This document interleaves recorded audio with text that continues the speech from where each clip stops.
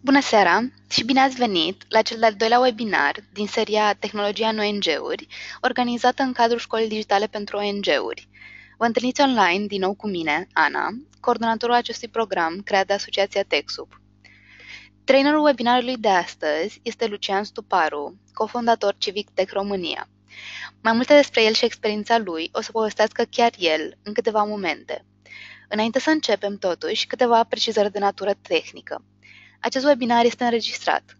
Pentru cei care nu ați mai participat la un webinar, un webinar este o prezentare online în care puteți adresa întrebări pe parcurs sau după, în scris, în secțiunea de questions.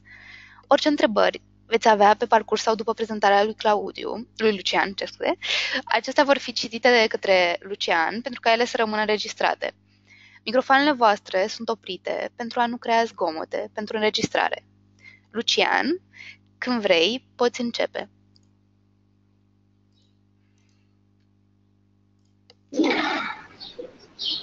Bună seara! Um, imediat voi face și share screen.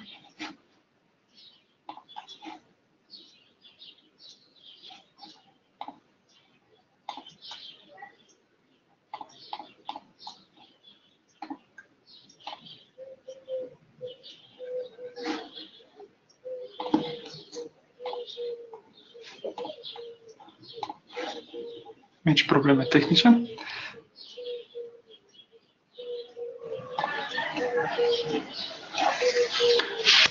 Ok. Uh, bună seara! Uh, numele meu este Lucian Stuparu. Sunt uh, cofondator și coordonator de proiecte la Civic Tech România. O să încep prin a zice câte ceva despre mine. Am peste 10 ani experiență în dezvoltarea de aplicații web, ocupând succesiv roluri de dezvoltator, manager de proiect sau business analyst. În 2016 am fost ales ca borsier în programul guvernamental GovIT Hub, probabil că ați auzit de el, și am avut ocazia de a coordona și implementa alături de colegi mai multe proiecte, în cadrul Ministerului Sănătății în special. Uh, câteva exemple ar fi uh, site-ul desprevaccin.ro, um, Registrul Electronic Național de Screening Auditiv, și aplicația pentru raportarea stocurilor de vaccinuri pe care o, folosești, o folosesc uh, toate direcțiile de sănătate publică din țară. Um, ulterior, alături de foști colegi din GovIT Hub, am pus uh, bazele Civic Tech România, care este o asociație non-guvernamentală prin care continuăm independent misiunea de digitalizare a serviciilor publice spre beneficiul cetățenilor. La Tech uh, lucrăm alături de instituțiile ce și-au arătat deschiderea în acest scop, cum ar fi Departamentul pentru Situații de Urgență, Primăria Municipiului Alba Iulia, Agenția Națională de Zootehnie, dar și alături de companii private ce doresc să investească în dezvoltarea societății. Astăzi uh, voi vorbi despre strategii de product management și infrastructură open source în ONG-uri. Uh, pe baza experienței acumulate până acum, atât în organizația noastră, Civic Tech România, cât și în alte ONG-uri cu care colaborăm. Um, în primul rând, în primul rând, uh, prin produs digital al unei organizații non-profit, uh, eu mă refer la orice software dezvoltat de organizație, începând de la un simplu website de prezentarea organizației uh, sau a unui program, a unui proiect din organizație, până la o aplicație mobilă sau chiar o platformă mai complexă, cum ar fi, de exemplu, pentru interacțiunea cu voluntarii. Este foarte important ca organizațiile să facă diferența între produs și proiect. Uh, ONG-urile implementează de regulă proiecte succesive pentru aș atinge misiunea și sunt obișnuite cu acest mod de lucru per proiect. Uh, cu o perioadă de implementare bine definită, cu indicatori ce trebuie îndepliniți pe parcursul implementării și așa mai departe. Un produs însă, mai ales un produs digital, nu are un ciclu de viață predefinit. Uh, el poate să fie utilizat câțiva ani sau poate chiar decenii. Asta înseamnă că nu putem estima de la început câte resurse va necesita produsul pe întregul său ciclu de viață, care va fi forma sa finală. Deci trebuie puțin diferit abordat, punând accent pe eficientizare încă de la prima etapă a planificării, deci înainte de a începe efectiv dezvoltarea.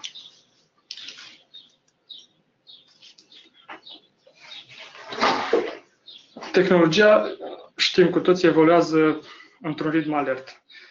Uh, așteptările oamenilor și, aș zice, în special ale cetățenilor cei mai activi care se implică în ONG-uri, uh, evoluează și, și ele la fel de rapid și, se, și oamenii le, le aplică aceste așteptări în interacțiunea cu orice tip de produs digital.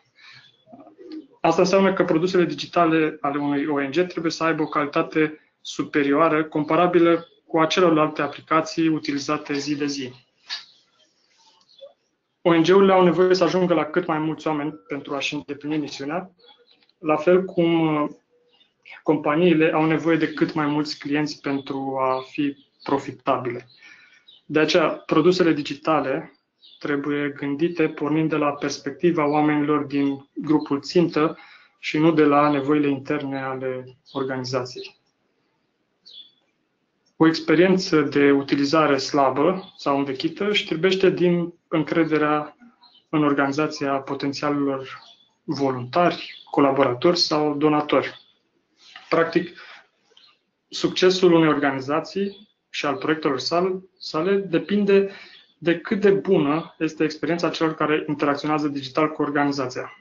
Cât de ușor este să comunici, să donezi, să urmărești ce se întâmplă în cadrul proiectelor, să, pentru a te putea implica și a contribui.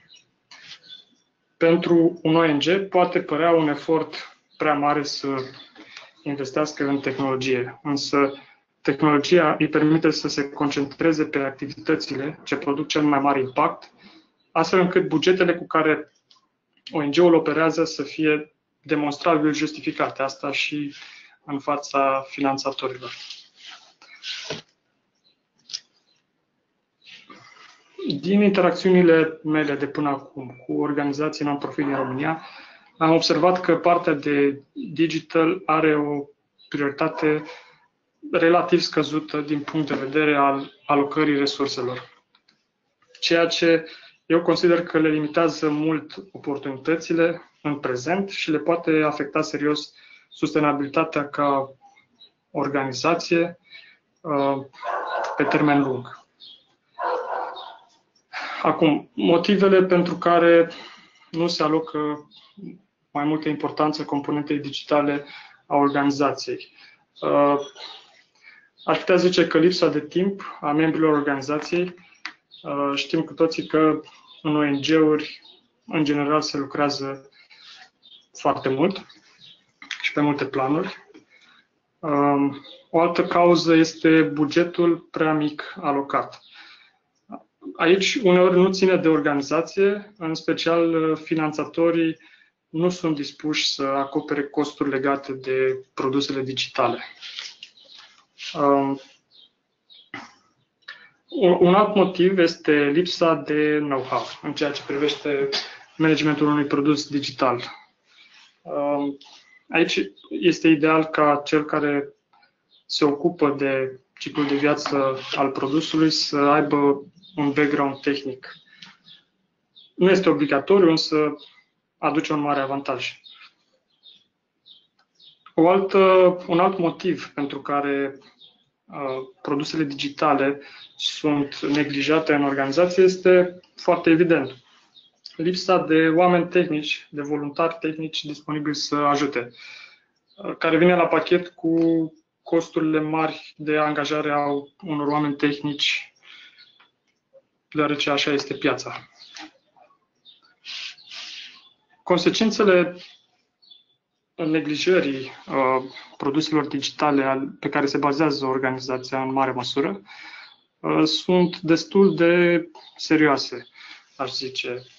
Uh, pot să apară blocaje operaționale. De exemplu, uh, un proiect nou nu poate fi pus pe site deoarece nu se potrivește cu formatul celorlalte proiecte. Sau uh, încep să se cumuleze costuri din ce în ce mai mari de, de menținere a website-ului. Apar riscuri de imagine în momentul în care uh, website-ul, să zicem, sau produsul digital nu mai funcționează și atunci uh, utilizatorii, voluntarii sunt frustrați de asta. Iar uh, acum aș vrea să pun o întrebare. Aș vrea să știu uh, cu ce fel de produse digitale lucrați în organizația din care faceți parte. Prima opțiune este website de prezentare a organizației. Probabil că orice organizație are un website acum. Uh, citeam un, uh, un, uh, o statistică în Europa, 99% din organizații au un website de prezentare. Opțiunea 2 este un website de prezentare dedicat unui proiect sau unui program al organizației. Opțiunea 3, o aplicație mobilă sau alte tipuri de, opțiunea 4, alte tipuri de produse dezvoltate de organizație, cum ar fi, nu știu, o platformă custom pentru managementul voluntarilor. Voi aștepta puțin să se strângă răspunsurile la acest punct. Puteți uh, bifa mai multe opțiuni la această întrebare.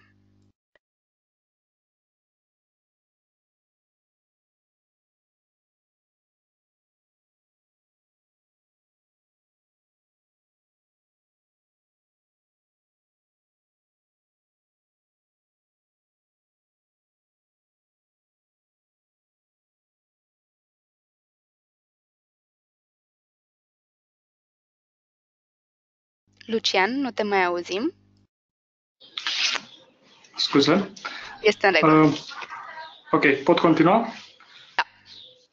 Da. Um,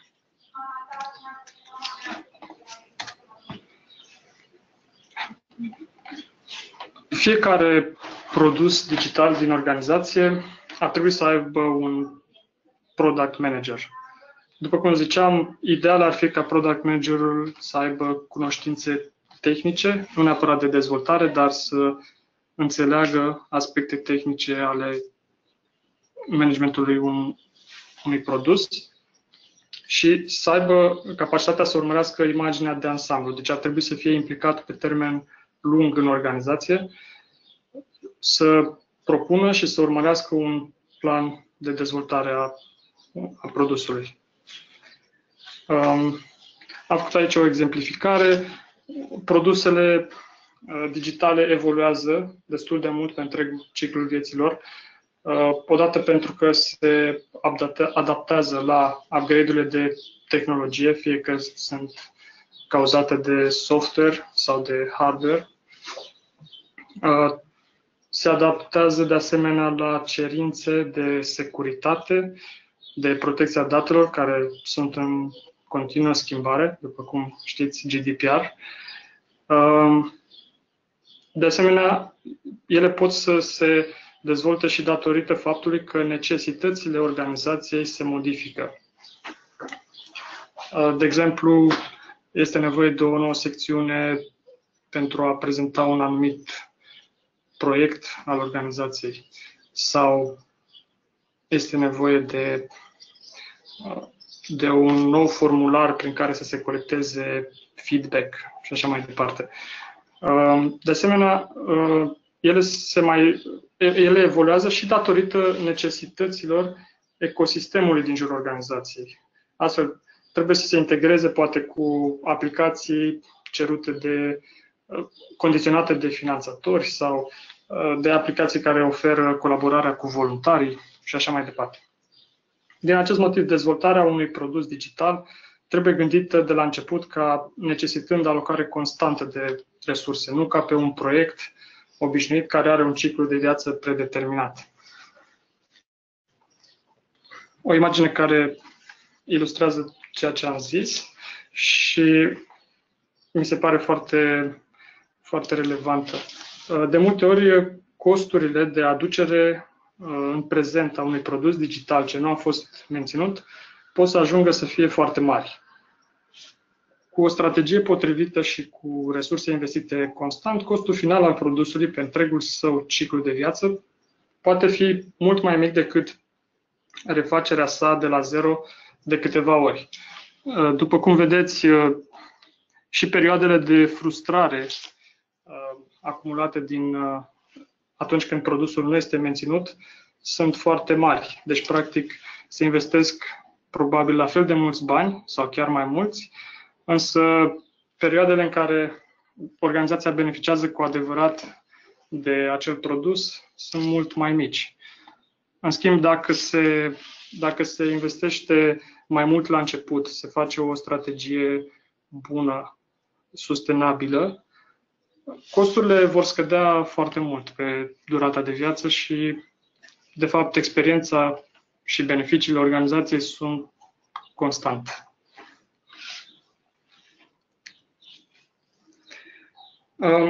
Am împărțit uh, bunele practici pentru, uh, pe care le-am identificat eu, uitându-mă la modul în care arată produsele digitale ale organizațiilor din ziua de azi.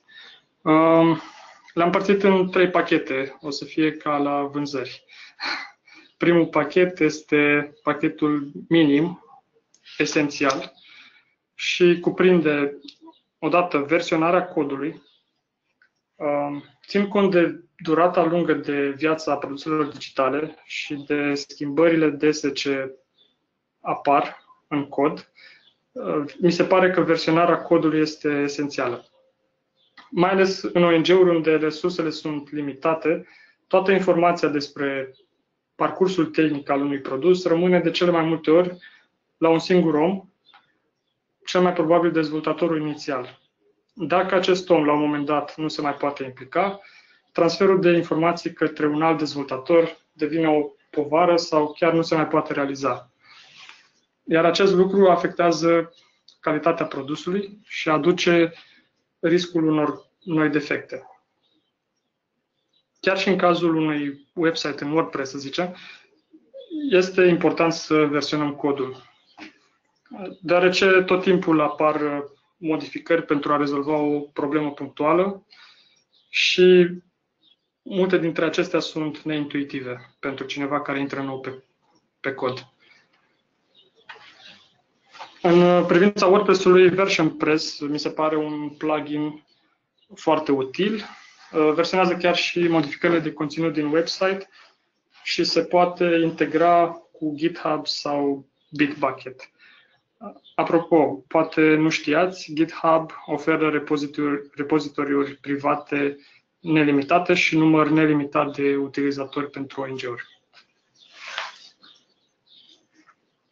A doua uh, componentă esențială pe care o văd este backup-ul automat și o posibilitate de rollback.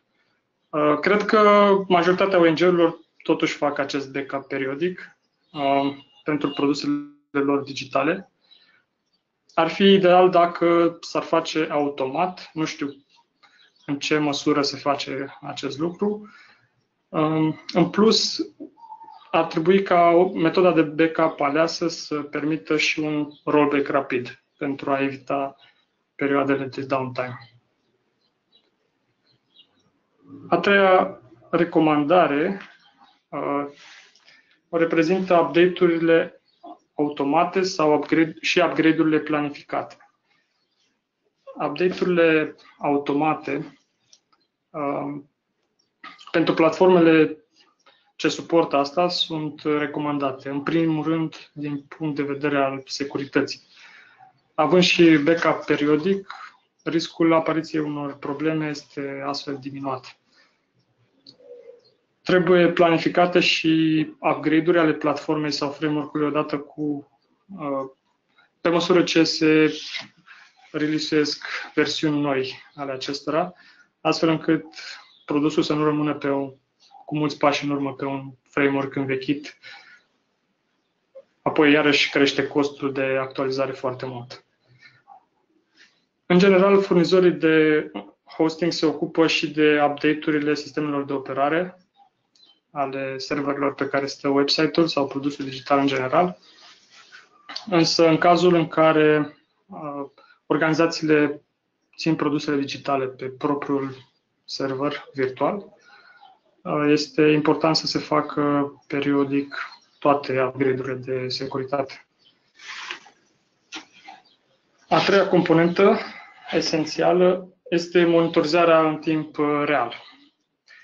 Aici, uh, monitorizarea continuă este evident importantă pentru a evita situații jenante, cum ar fi ca produsul să fie indisponibil timp de mai multe ore sau chiar zile. Noi uh, folosim la câteva produse Pingdom, care este probabil unul dintre cele mai utilizate tool de monitorizare, dar uh, mai sunt și alte variante bune, uh, de exemplu Uptime Robot, care este gratis. Un alt tip de monitorizare este aceea a accesului abuziv. Un uh, plugin de WordPress care mi se pare foarte util pentru asta este Cerber Security, poate fi configurat să blocheze automat accesul atunci când se detectează activități suspicioase, cum ar fi încercări repetate de login eșuat, uh, plus uh, alertele pe care le trimite, de asemenea, sunt multe opțiuni de configurare. Pe lângă asta, uh, mai sunt legat de WordPress, o să Insist pe asta pentru că majoritatea ONG-urilor probabil că au site-urile de prezentare pe WordPress. Un plus de securitate ar fi setarea unui URL, uh, unei adrese custom pentru interfața de administrare, în loc de clasicul WP admin. Uh, tactica aceasta este eficientă în special pentru boții care bombardează automat uh, orice site slash WP admin.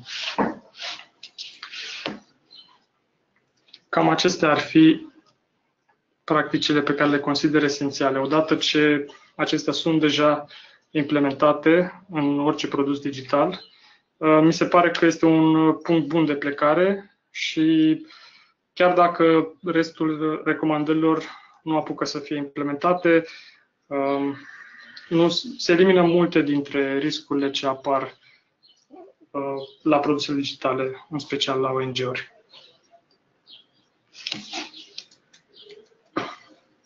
Al doilea pachet, ca să zic așa, este, uh, l-am numit profesionist și se referă în special la practicile ce, pe care uh, companiile de development le folosesc.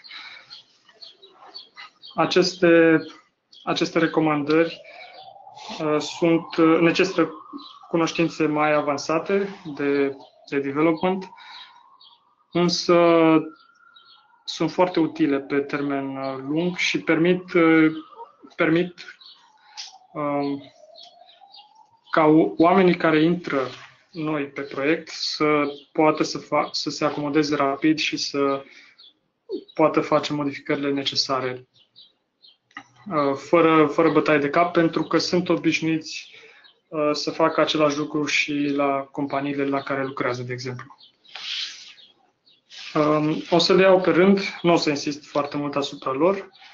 Um, primul este, proces, primul este stabilirea unui proces de continuous integration, continuous deployment.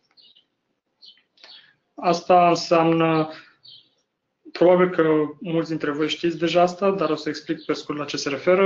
Um, atunci când se fac uh, modificări pentru un website, acestea nu ar trebui făcute direct în producție, pentru că este evident riscul de a, de a buși site-ul, um, ci se fac pe un uh, mediu de test Uh, și după ce se testează și totul este în regulă, apare un proces de integrare. Continuous integration se referă la integrarea uh, în secvențe mai mici, adică nu se dezvoltă uh, multiple funcționalități și apoi toate se uh, la o perioadă de, să zicem, câteva luni, se integrează toate odată. Deoarece asta aduce riscuri. Uh, de aceea, la fiecare funcționalitate mică, pornește un proces de integrare și se integrează în uh, producție, în, în codul uh, principal, cât mai repede.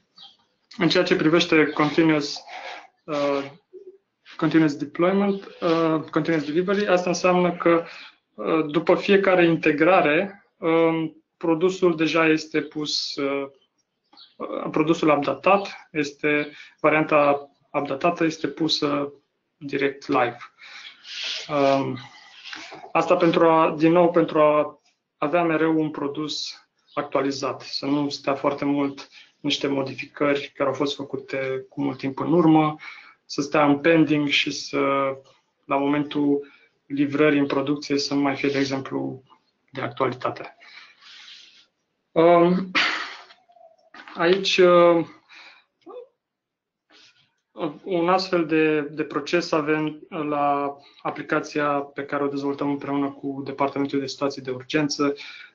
Încercăm să integrăm cât mai în secvențe cât mai mici și de asemenea avem un proces prin care automat se, se pun acestea în producție.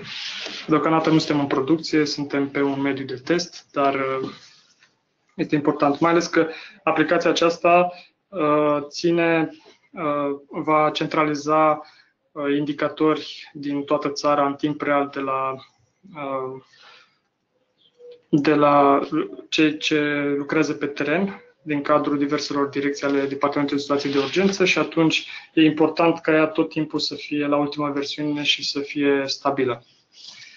Uh, următorul, uh, următoarea practică recomandată sunt testele automate. La fiecare integrare ar trebui să, să, exi, să existe niște teste automate de bază uh, care să, de asemenea, să elimine posibile greșeli ce pot, ce pot apărea în uh, cod. Uh, câteva teste automate pot verifica, de exemplu, dacă codul este compatibil cu versiunile de, de limbaj de programare care sunt pe server de producție și așa mai departe. Uh, sunt parte a procesului de continuous integration. A treia recomandare este Analytics nu ține departe de development, însă este important ca orice produs digital să aibă un o componentă de analytics foarte precisă. Asta pentru că astfel poți identifica direcția în care acel produs trebuie dezvoltat, trebuie se observă uh, greșelile din acel produs, în sensul că poți să-ți dai seama ce secțiuni nu ajung niciodată, ce, ce informații nu ajung niciodată la utilizatorii tăi. Um, aș face o recomandare aici. Folosim noi la Civic Tech România, folosim Hotjar, care este de asemenea uh, gratuit pentru ONG-uri și oferă un uh, heatmap uh, al interacțiunilor utilizatorilor cu, cu website-ul sau cu orice produs digital. Voi trece la următorul slide. Um, pentru, pentru a avea o strategie foarte bună de, de management de produs, uh, după cum și Claudiu în webinarul trecut a explicat, um, codul open source aduce foarte multe avantaje. Uh, permite colaborarea cu, tot, cu voluntari care poate nici măcar nu trebuie să se înscrie să fie voluntar, dar uh, de exemplu, vor să contribuie în organizația ta și pur și simplu o fac direct în, în GitHub sau în platforma de open source de versionare. Um, aici, de asemenea, pe lângă transparență, deci asta ajută foarte mult ca produsul pe care îl ai să fie, uh, să fie văzut de mai multe perechi de ochi și astfel să, să fie îmbunătățit mai des. Um, am mai adăugat, uh, pe lângă codul open source, am mai adăugat componenta de infrastructură open source. Um, prin infrastructură open source uh, mă refer la faptul că uh, provizio- uh, setarea serverului uh, poate fi de asemenea serverului de producție sau serverului de test poate fi de asemenea deschisă într-o anumită măsură. Prin asta mă, mă refer la ce, de exemplu, cum folosim noi la uh, aplicația pentru Departamentul Situației de Urgență, aplicația de raportare integrată. Uh, practic, pe lângă codul open source al aplicației, există și uh, instrucțiunile de uh, setup al serverului, pe care oricine le poate replica apoi uh, pe un calculator local, adică mă refer orice developer poate să, să emuleze un server similar cu cel de producție și astfel uh, se asigură că contribuțiile pe care le fac în codul open source o să fie uh, bune și potrivite pe acel server. O altă bună practică, probabil că nu se face în special datorită timpului redus, uh, este documentația produsului. În cazul în care se. Deci, o mare parte din beneficiile acestei practici uh, sunt acoperite de versionarea codului. Din acele comentarii de, de versionare se poate, uh, se poate înțelege, un, un developer poate înțelege uh, ce, cum a evoluat acel produs. Însă o documentație menținută la zi ajută foarte mult ca cineva nou să intre și să contribuie în pe, în dezvoltarea acelui produs. Um, voi face o pauză să punem o nouă întrebare. Um, întrebarea este care dintre următoarele bune practici se aplică în cadrul produselor digitale ale organizației din care faci parte. Uh, opțiunea 1 este versionarea codului. Opțiunea 2, uh, backup periodic automat. Opțiunea 3, uh, monitorizare în timp real. Opțiunea 4, update-uri periodice. Și opțiunea 5, procese de continuous integration, continuous deployment. Și de data aceasta puteți bifa mai multe opțiuni.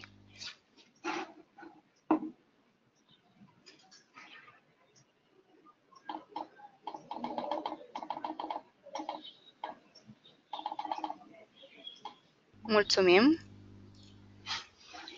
Ok. Um,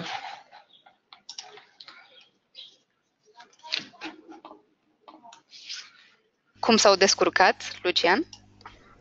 Uh, încerc să văd imediat. 33% versionare cod, 33% uh, backup periodic, 33% monitorizare în timp real. Uh, mi se pare destul de bine față de cum așteptam. 100% uh, update-uri, upgrade-uri periodice. Ok. Voi uh, continua. Aș sumariza prin a, a lua un caz concret, în cazul în care acum vrei să transformi produsul digital într-unul sustenabil? Care sunt primii pași? Uh, în primul rând, aș zice că trebuie desemnat un, un manager de produs uh, care ar fi bine să fie în organizație pe termen lung. Apoi, uh, acest manager de produs, nu neapărat el singur, poate împreună cu uh, experți uh, tehnici, uh, să pună bazele unei strategii a produsului pe termen scurt, inițial, și pe, și pe termen mediu și lung. Um, următorul pas ar fi implementarea acestui setup inițial, uh, format din acele practici esențiale pe care le-am amintit, să fim siguri că avem versionare de cod, backup automat, update-uri automate și monitorizare. Bineînțeles, orice altceva în plus față de asta aduce multe avantaje. Um, o altă, un alt lucru important este alocarea constantă de resurse pentru produsele digitale. Uh, nu știu cum se întâmplă acum, dar ar trebui ca costurile produselor digitale fie că e vorba de website, de prezentare sau altceva, ar trebui incluse în uh, fiecare buget cu care se aplică la granturi sau la alte tipuri de finanțări, deoarece aceste, uh, deoarece este nevoie de această alocare continuă și face parte, aș zice, din uh, costurile administrative ale organizației, costurile esențiale ale sale. Atunci când și de asemenea, atunci când se face planul unui proiect ce implică crearea unui produs digital dedicat, uh, fie că e o componentă pentru un proiect al organizației sau pentru un program sau un alt scop, trebuie ca uh, managerul de produs să ia în calcul uh, costul total pe tot ciclul de viață, total cost of ownership.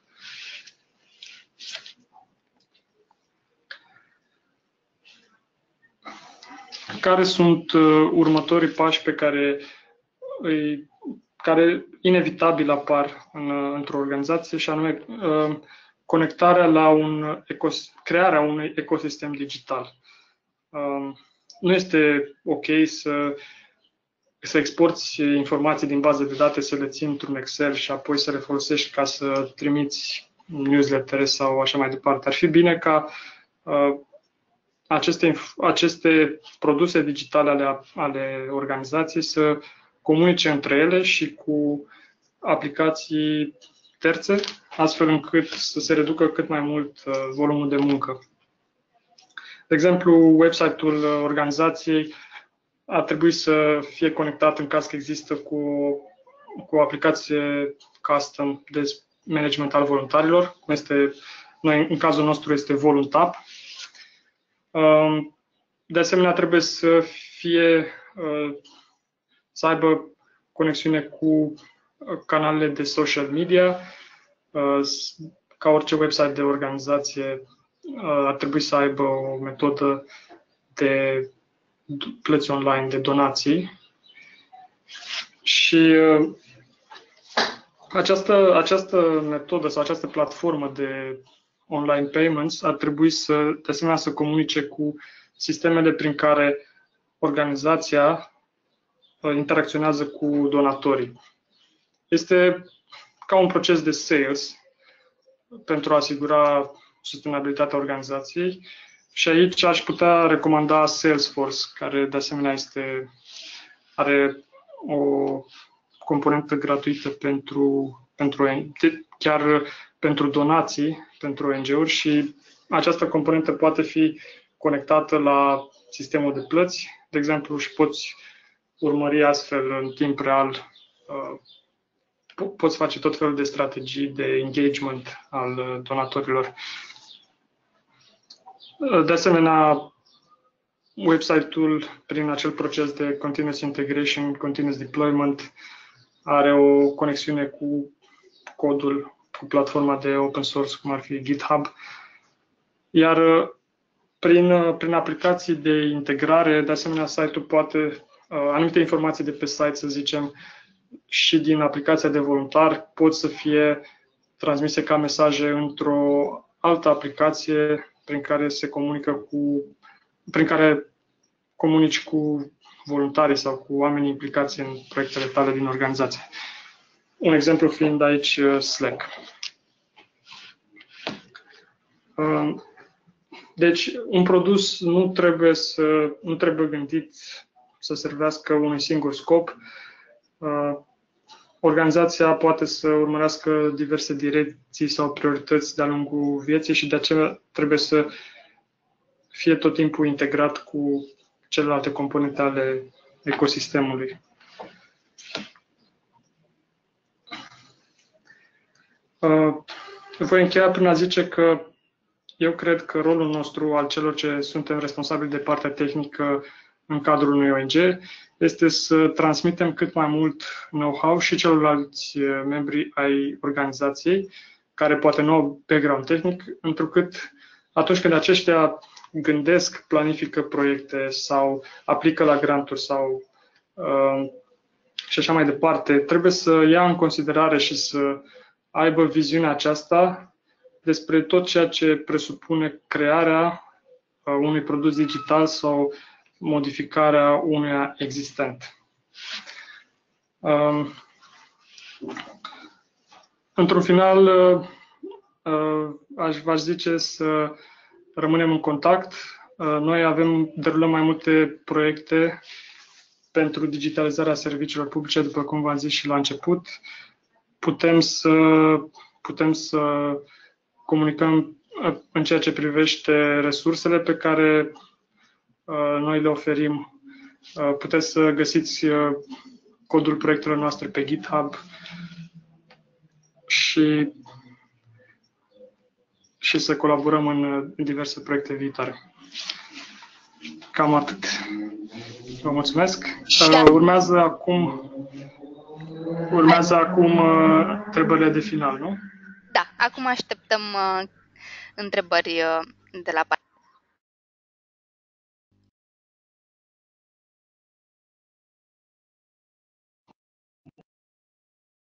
Orice întrebări aveți, ne puteți uh, scrie deja în secțiunea dedicată de questions, orice întrebări pentru Lucian.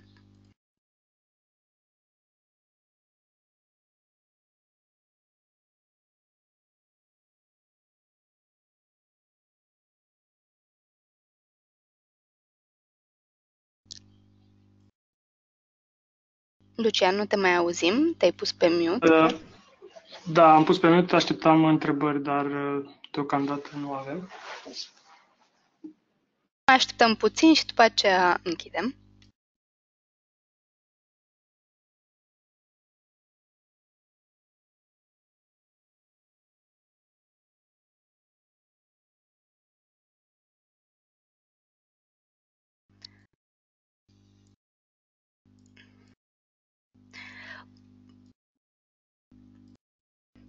Mulțumim, Lucian. O să terminăm webinarul acum. Oricum, uh, pentru orice întrebări ne puteți scrie și pe ONG Online și vom, uh, îl vom ruga pe Lucian să ne răspundă post-webinar. Mulțumim încă o dată, Lucian, pentru toate informațiile împărtășite cu noi și pentru timpul acordat, iar vouă tuturor vă mulțumim pentru prezență și atenție. Revenim zile următoare cu un mail de follow-up cu prezentarea de astăzi, iar uh, în câteva secunde voi opri webinarul pentru că acel formular de feedback cu care v-ați obișnuit deja să fie activat. El o să apară automat pe ecranul vostru în câteva secunde. Mulțumesc, seară bună, la revedere! Mulțumesc și eu, seară bună!